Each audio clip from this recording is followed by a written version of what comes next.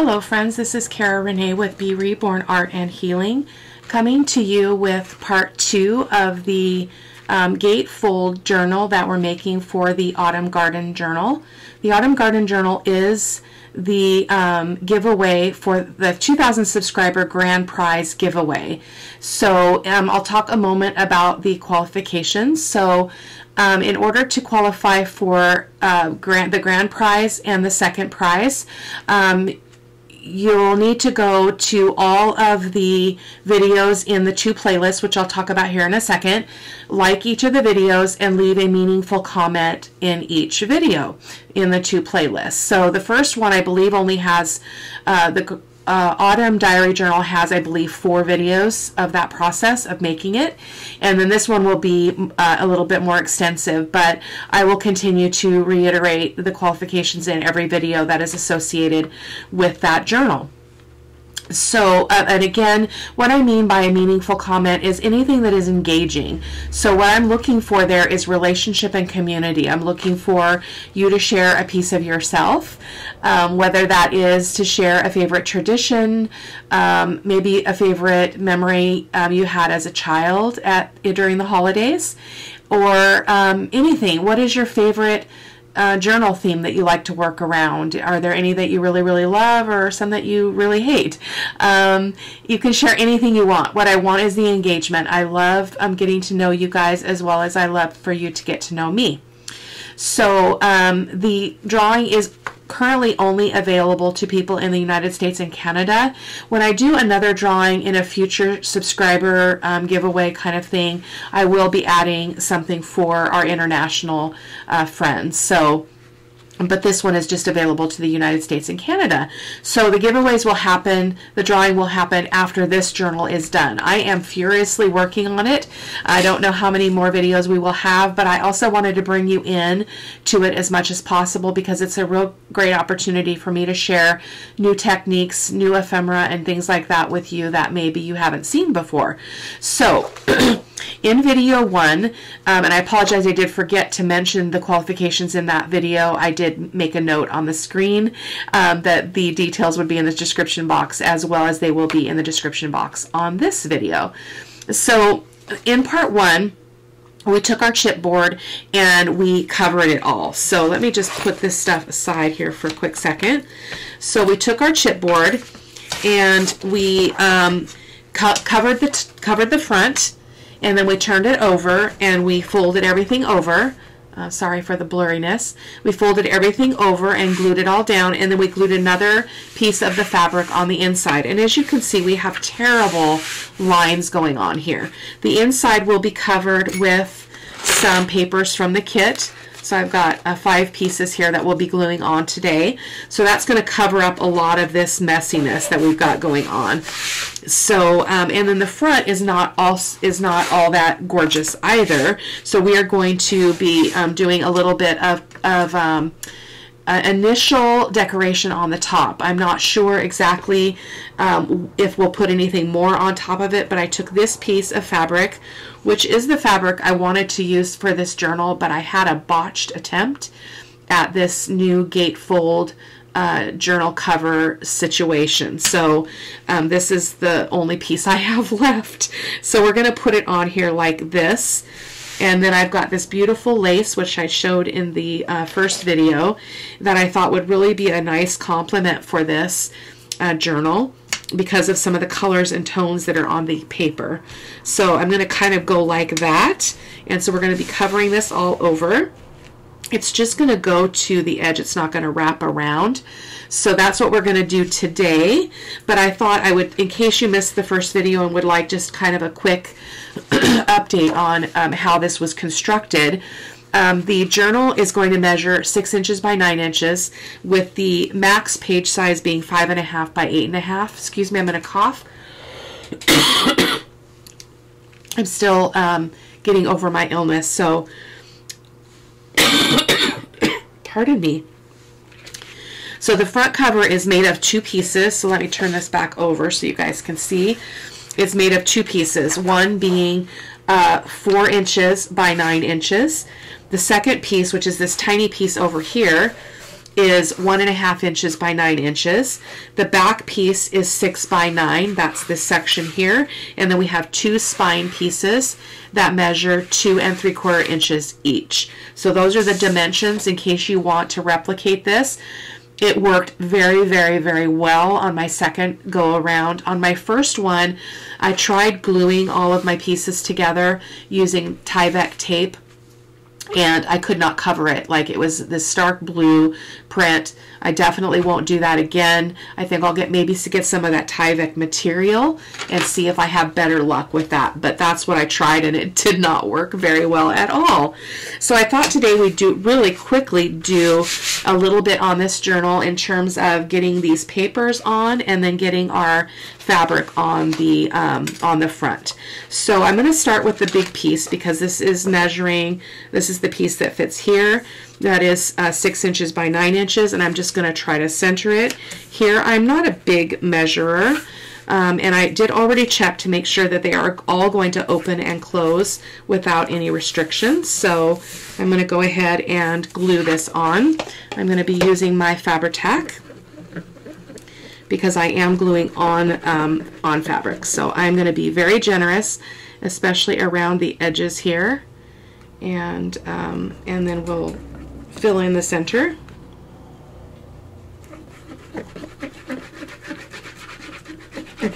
We want this to be very secure because we don't want any of that moving and bending about as we continue working with the journal. Sometimes I'll do my journal cover first and that inspires me to do the um, signatures. Um, in this case, it just just so happened that because I was trying a completely new cover that I wanted to just kind of do that right out of the gate. So that's why they're a little bit out of order. So I'm going to go ahead and place this down. We're using Fabri-Tac, so we have some wiggle room. So I'm moving it down because I could see that I, I can almost cover up that um, the frayed fabric here on the bottom and I'm just going to bend here and make sure everything is good. I'm going to scooch this over just a tad and then I'm going to smooth it down. I'm going to grab my cart here really quick and um, I'm just going to smooth this out. Make sure it's straight though. We want it to be straight. I don't think I can move it anymore though. Nope, it's okay though. So I'm just going to use my bone folder and just make sure that glue is all spread out. And I will proceed with the other pieces and just uh, turn the music on for you.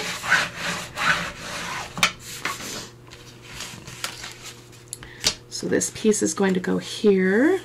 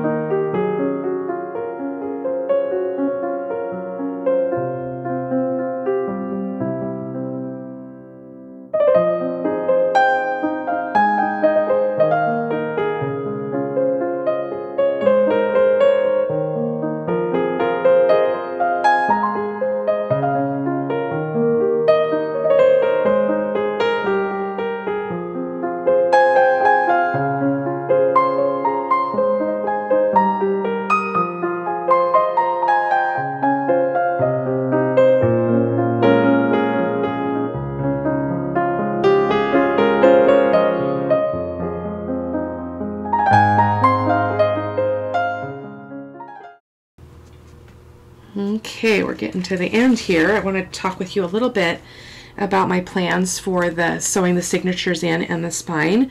So I've been really loving the hidden spine. So I will be doing a hidden spine on this journal. And so really in theory, I could have done something different here. This is where the signature will get signatures will get sewn in. But I thought just for the ease of um, the, the videos and process that I would just continue as though I wasn't going to do a hidden spine. But basically what I do is I take a piece of um, heavier a cardstock, well probably a thin chipboard, and I cut it to mat to um, to pretty much match this piece. And then I sew the signatures into that and then I'll glue that down onto here. And I've had great success with that. I love it.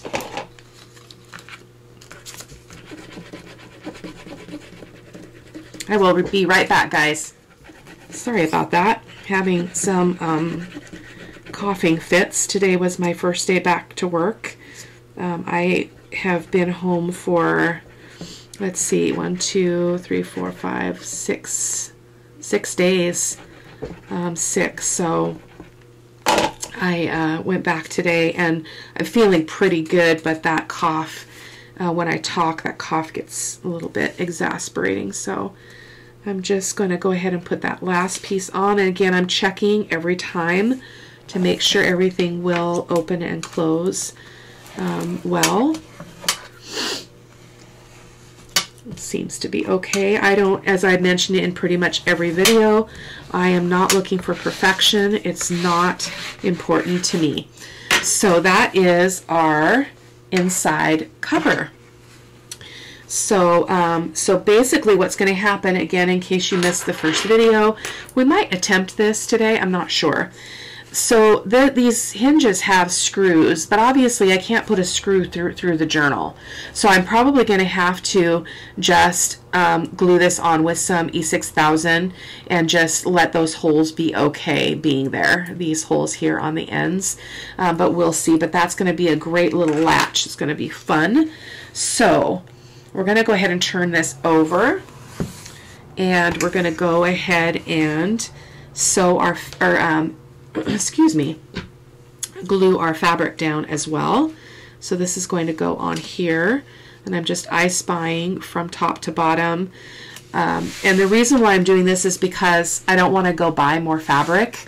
I have scraps enough to accent the journal and stuff with, but I really don't want to go get another piece. So I thought this was a good compromise. So I'm going to go ahead and try to think about the best way to do this. I think I'm going to make a glue mark here, um, there, and um, there, and here.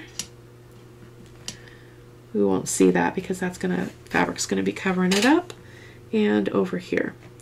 And that way I can just take my fabric off. I can apply the um, the Fabri-Tac right to the surface and just follow that line. So I'm just gonna, I'm gonna probably brush this out. So let me grab a, a brush real quick. Fabri-Tac can be tricky to brush out, but we're gonna try a little bit. So I'm just gonna go all the way across. I'm not too concerned about going too far because um, we're going to be gluing that really lacy fabric on top of it anyway, and it's going to cover the whole the whole bit. So my uh, I probably need to get another Fabri-Tac out because this is getting low, and I don't know if I'm going to be able to spread it because I can't really get enough out. I should have grabbed another one before I started. Well, I have some muscle here, thankfully. so we're going to try though.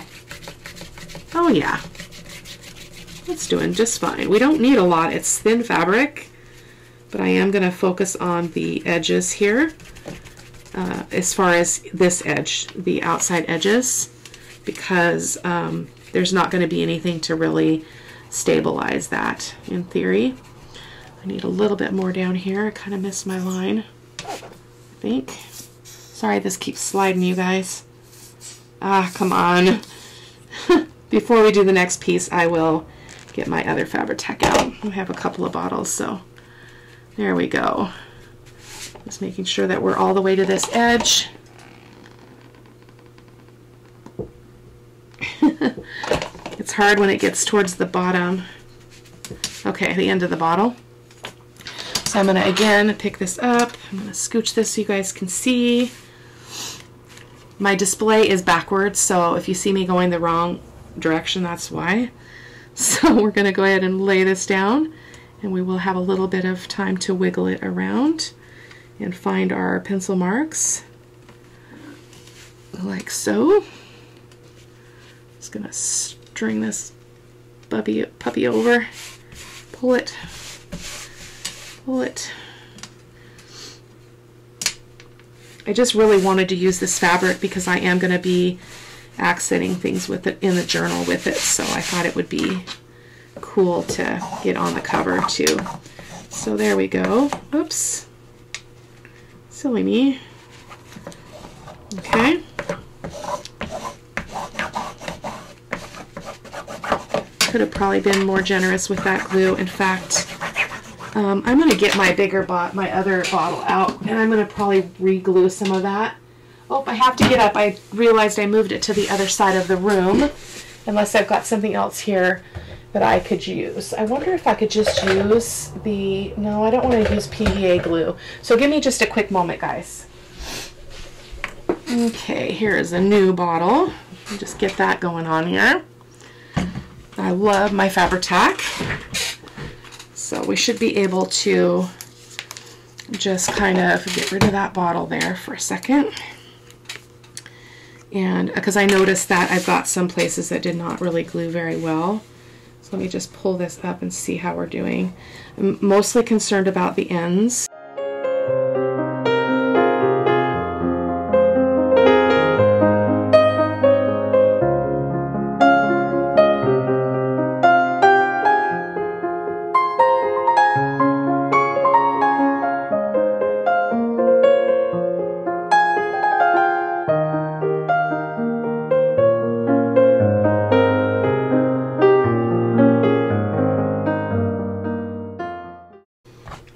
Mostly concerned about that edge because there's not going to really be anything to protect that edge. So there we go. That's better. Lay that back down. I'm Just going to kind of spread that out a little bit. And so I feel okay about the rest of it. I'm pretty sure. Let me just check this edge too. Yeah, that's a little bit weak as well. So look at, we didn't get much on here. So we're just going to pull that. We're going to pull it all back. We're going to go in and do this right because that's that's not what we want. So let's go in with a little bit more glue.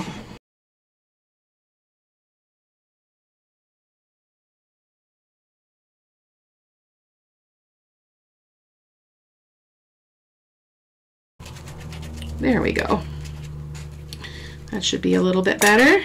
Let's lay this back down. Just going to kind of guide it. It's sliding all over the place. okay, I feel much, much better about that. Much better. Okay. The next step is going to be pretty messy because we've got, so this is our front spine or top spine. So there we go. So you can see, do you see the, the color matching here? It's just incredible. And this, this was fabric from, from Joann's. Like I just totally didn't even plan that. so I'm going to get a bigger brush because I feel like I'm not, I can't spread that fast enough. I'm going to get my silicone brush. That would maybe work better before we put this on because this piece is cut bigger than my um, than the cover because I didn't want to take any chances of it not being big enough. So it's going to line up to the bottom here like that. And I'm going to adhere all of this as best I can. It was not going to be perfect, but we're going to sure try. So I'm going to start from the bottom up. So I'm going to go about this much at a time. So I'm going to get my Fabri-Tac and I'm just going to make my first glue line all the way down here.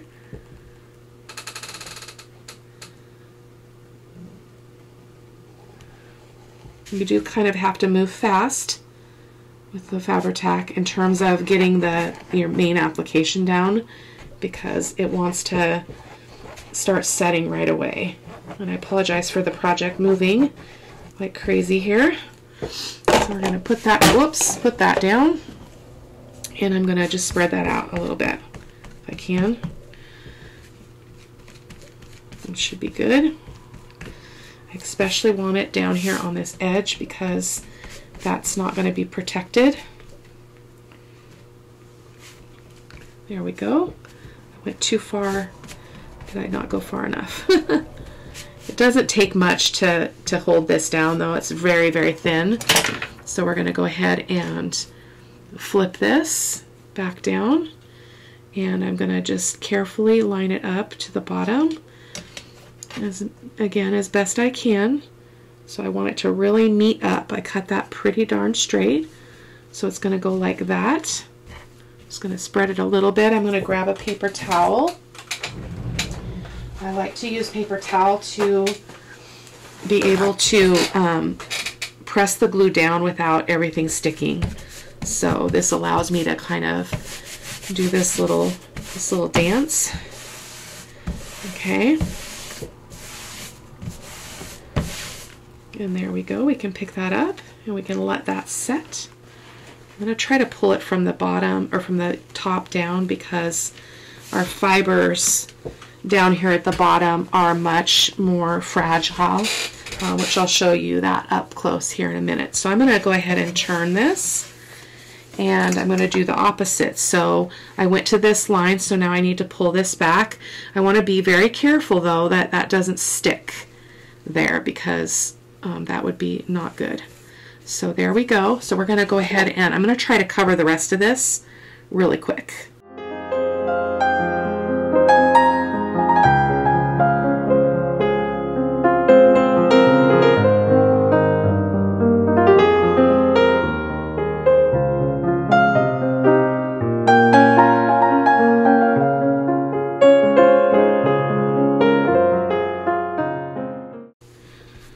See how I didn't have to really worry about that base fabric because this is all going to get more solidified here. So just spreading that out as best I can though.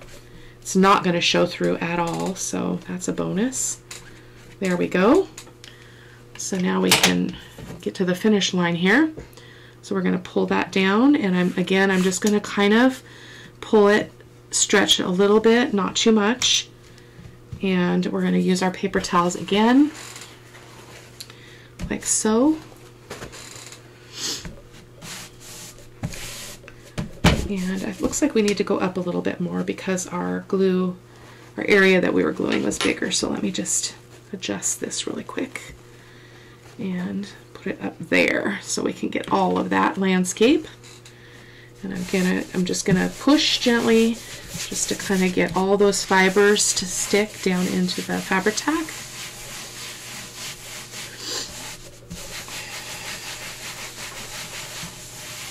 Mm-hmm. It's gonna be beautiful, beautiful, beautiful. There we go. Off we go. Just gonna set that over there. And um, probably should be pulling from the inside out so I don't disturb the, again, those really um, fragile fibers on the edges. So there's that. And so what I wanted to show you was just the, the, the detail on the bottom of this lace. Look at that. Is that just absolutely beautiful? It's so counterintuitive to a fall journal though, I know. But um, as I've mentioned in other videos, I don't uh, fall is a really hard season for me, so I'm really trying to reframe it. So I'm doing things in a way that makes me feel comfortable, um, which is um, not the popular way to do things, uh, especially with a fall journal. So I am going to move this because I don't want to get my uh, project here in the uh, glue with all these brushes and everything over here. So I'm just going to move that over. And now we're going to go ahead and try to trim this off. So I'm just going to turn this all a little bit and using my sewing scissors here. And I'm sorry that this is not going to all be on camera or in frame rather. Come on, cut. Boy, this is this is persnickety little lace here. It doesn't matter if it's completely even. Oh, I think it's the angle. And I do apologize, this is going to be off out of view for you because I'm kind of going off of my table. And that's the best way for me to get the angle that I need. So there's that. And that's going to make beautiful cluster right there. I'm just trying to trim this up a little bit. Definitely needed the sewing scissors for this. Okay. I'm going to finish trimming this and I will be right back.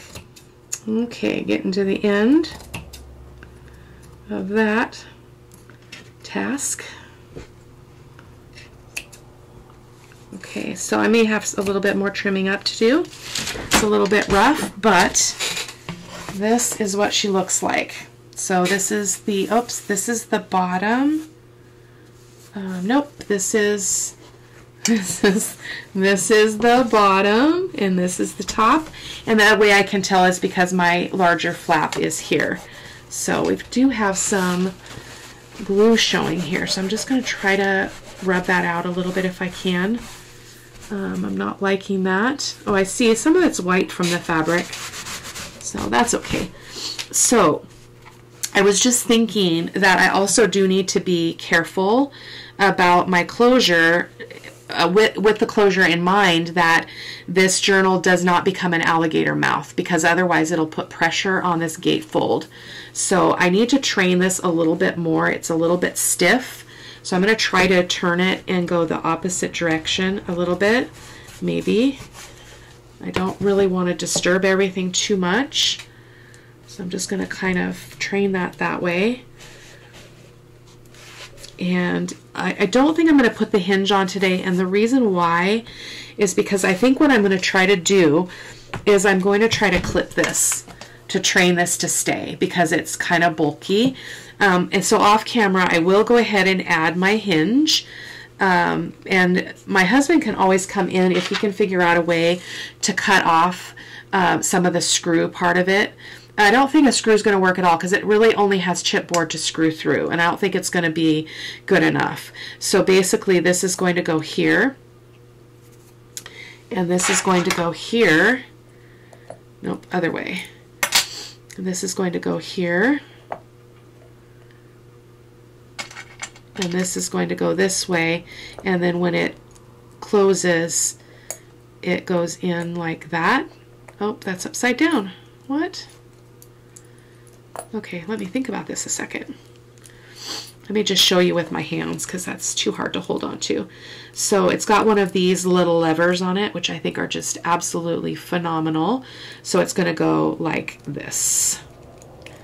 And then when it closes, this slides in here and it's going to keep that closed. Isn't that amazing? So, um, but I do have the small screws and I'm wondering, my husband is pretty handy. He might have some good ideas, but letting him get you know, like do something with the journal since it's already put together. I'm not sure. Um, I know that uh, E6000 will hold this, so I may just go that route. So now that I have it together here, let me show you if I can do this one-handed. so it's going to go like that. It's going to be absolutely beautiful. So that is it for today, guys. I hope that you'll check back. Um, and again, the qualifications for the drawing um, are going to be down in the video description box as well. Um, go back to each of the playlists, Autumn Garden Journal and Autumn Diary Journal. Leave a comment. Um, and like the video and you'll be entered into the drawing and when I get this journal done is when we'll do the drawing for the grand prize this one and then the second prize which is the autumn diary the third prize is the Altoid Mini tin, the Altoid Tin Mini Journal, which is uh, the regular Altoid metal metal um, boxes and I made this little cottage charm journal in it so that will be the third prize that's going to be a random draw just kind of across the channel I maybe just I might even pull it from the subscriber list I'm not sure haven't decided but that one will be more random and the reason for that is because that project was already done before we hit the 2000. I just thought it would be a perfect uh, prize for the giveaway. So there we go. So I will see you next time. Take care. Bye-bye.